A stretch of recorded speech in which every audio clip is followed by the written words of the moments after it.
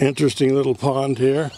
It's only about half full, but take a close look and you can see looks like there's about two dozen young turtles, water turtles, whatever they call them, uh, sunning themselves on the bank right over there.